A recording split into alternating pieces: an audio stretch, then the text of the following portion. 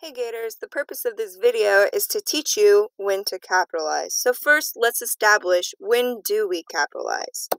Well, uh, use capital letters for proper name nouns.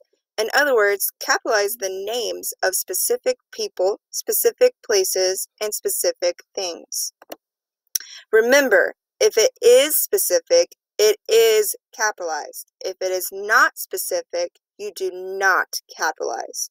So, the, uh, capitalize with mints. This is an acronym uh, tool to help you remember what to capitalize. So, we capitalize specific months, days, holidays, the pronoun I, names of people, places, etc., titles of books, movies, etc. Then S, start of sentences and uh, after quotation marks. So if you're wondering, what does that mean specific? Well, let me show you a few examples. If I tell Miss Hudson to open up the uh, my app on my phone, she would say, Miss New, what app are you talking about? And I would be like, oh, sorry, TikTok.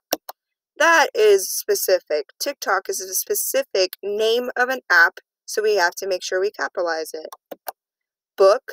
If I tell Miss Hanel, uh, can you bring that book to me, please? She would say, what book? And I'll be, I'll say, oh, Wonder. That is the uh, specific name of a, of a book, so we have to make sure we capitalize it. If Mr. Andrews comes up to me and he says, I was born out of the country, I would say, oh, what country, Mr. Andrews? And he would say something like Germany. But for this example, I put the United States. Um, so anytime you have um, a specific uh, um, country, you got to make sure you capitalize it. All right, if I'd say, oh, I went to a theme park this summer, I would say, oh, did you go to Six Flags? No. Well, where did you go? Walt Disney World. And yes, we have to capitalize all of it because that's all of the name of. Uh, I wouldn't say, oh, I'm going to Walt. It's Walt Disney World. That's the entire title of that theme park.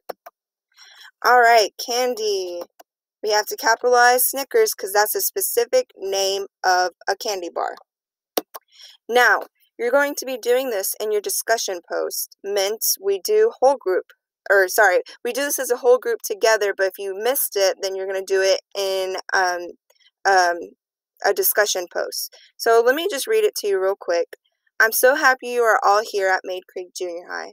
We're excited to actually see you face to face in September so you can really experience the school environment.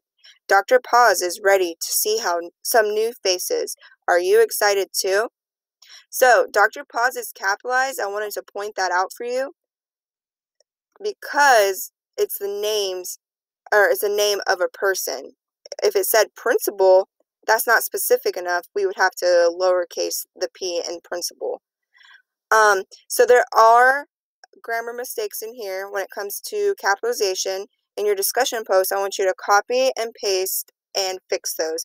If you have any questions, make sure you follow up with your teacher and um, uh, yeah, have a great day.